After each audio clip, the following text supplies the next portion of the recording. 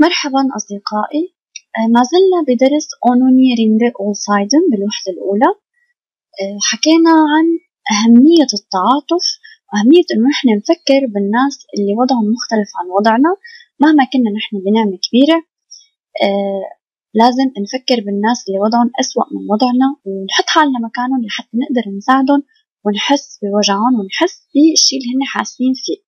وهلأ عنا خبر صغير هو مثال عن الكلام اللي نحن عم نحكي عنه آه، بمدرسة بمنطقة آيدن كان في حملة لمساعدة اليتيم بهي الحملة آه، معلمة الصف آه، قالت إنه لازم لكل صف يكون في أخ يتيم.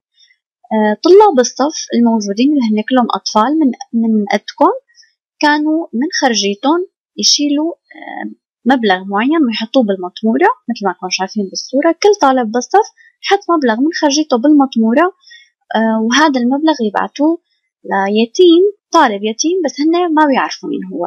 من دون ما يعرفوا لا اسمه ولا كنيته كانت بس المدرسة المسؤولة عن الحملة هي اللي بتعرف الطالب تبعت له مصاري آه، عبر هاي الحملة تعلموا الطلاب آه، إنهم يتسامحوا مع بعضهم يحسوا بغيرهم ويتعاطفوا مع الأشخاص يلي وضعهم مختلف عن وضع هدول الطلاب.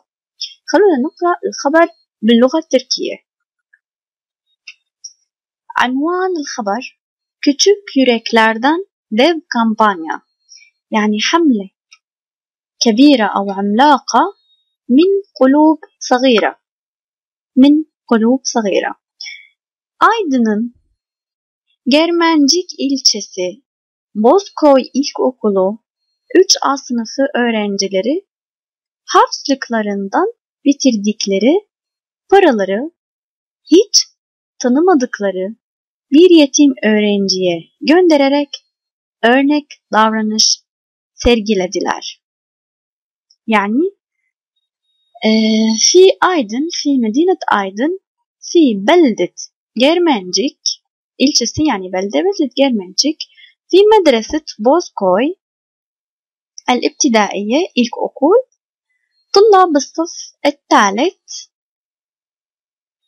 harçlıklarından bitirdikleri cema'u amval min masrufun harçlık masrufun hiç tanımadıkları bir yetim öğrenciye ve erseluha li طالب يتيم لا يعرفوه أبدا وهالشي كان تصرف يعتبر قدوة örnek davranış misal أو قدوة Bozkoy İlkokulu 3A sınıfının 15 öğrencisi öğretmenleri Narin Sözen Oruç öncülüğünde يعني هذا الصف اللي مكون من 15 طالب بقيادة المعلمة نارين سوزان Oruç هيك اسمها sosyal sorumluluk projeleri kapsamında وضمن مشروع المسؤولية الاجتماعية sosyal sorumluluk. Samsun'daki bir ilkokulda eğitim gören hiç tanımadıklarını yetim öğrenci ENY yardıma bulunmak için kampanya düzenledi. كانت هاي الحملة اللي نظموها هدول الطلاب الموجودين بمنطقة آيدن بمدرسة بوسكوي الابتدائية. عملوا الحملة لطالب يتيم آه، أو للطلاب اليتيمين الموجودين بمنطقة سامسون بمدرسة ابتدائية كمان بس هن ما بيعرفوا أبدا لهذا الطالب. هذا الطالب حطوا لأول حرف من اسمه أول حرف من كنيته لحتى ما حدا يعرفه. صاروا يجمعوا له من خرجيتهم ويبعتوا له إياها لعنده. Kampanya kapsamında öğrenciler. Her gün harçlıklarından artırdıkları parayı kumbaraya attılar. كانوا هدول الأطفال المشتركين بالحملة أطفال المدرسة كل يوم يشيلوا مبلغ من مصروفهم الشخصي ويحطوه بالمطمورة أو بصندوق المال kumbaraya يعني المطمورة أو صندوق المال.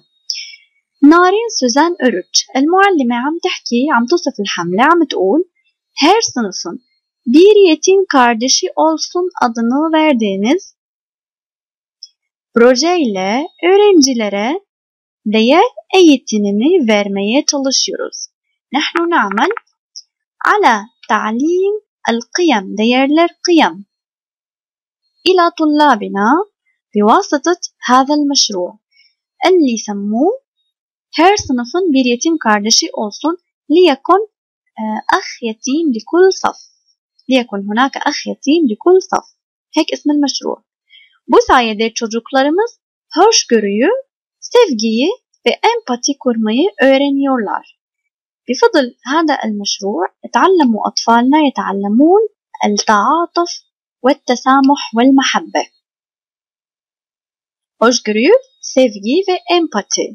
بواسطة هالمشروع زرعنا قيم كتير حلوة عند هدول الأطفال مثل التعاطف إنه نحس بغيرنا إنه نحبه ونتسامح معه وهلأ رح ننتقل لمثال ثاني من أمثلة الشعور بالغير Geçen sokakta tekerlekli sandalyesi üzerinde ilerlemeye çalışan yürüme engelli bir kadın gördüm. هون صديقتنا عم تحكي لنا هي وماشية بالشارع شو صار معها عم تقول أنا وماشية بالشارع اليوم الماضي geçen gün رأيت امرأة لا تستطيع المشي عندها إعاقة بالمشي فلذلك هي بتستخدم هذا الكرسي اللي له عجلات تكيرلي صندالية الكرسي ذو العجلات ولكن عم تعاني بصعوبة ما عم تقدر تمشي فيه kadın kaldırımlar engellilere uygun olarak yapılmadığını için sandalyesini sürmekte zorlanıyordu. ولأنه الأرصفة kaldırımlar ما كانت مجهزة لهيك شيء فلذلك كانت المرأة تجد صعوبة في سحب الكرسي في تحريك الكرسي Buna rağmen güçlükle de olsa bankamatiğin önüne kadar gelebildi. مع ذلك استطاعت بقوتها انه تجي لقدام الصراف بانكاماتيك هو صراف الآلي ولكن ancak burada onu başka bir engel bekliyordu. كان هناك عائق آخر ينتظرها يعني صعوبة ثانية عم تستناها çünkü لأن makinenin tuşlarına yetişmiyordu. ما قدرت توصل لأزرار الماكينة أزرار الآلة çaresizce etrafına bakındığı görünce hemen yanına giderek yardım edebileceğini söyledim.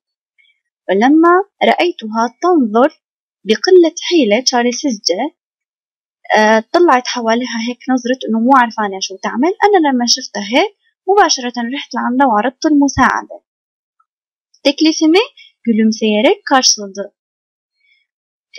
قابلت عرضي teklifimi عرض يعني ibtisame gülümseyerek ibtesmet. Birlikte işlemini yaptıktan sonra bana teşekkür etti.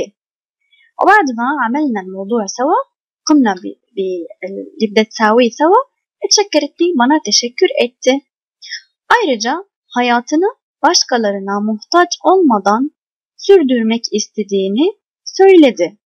وقالت أيضا أنها تريد إكمال حياتها sürdürmek, hayatını sürdürmek من دون ما تحتاج الآخرين başkalarına muhtaç olmadan من دون أن تكون محتاجة إلى الآخرين ancak çevre şartlarının engellilere yardımcı olmadığını söyledi.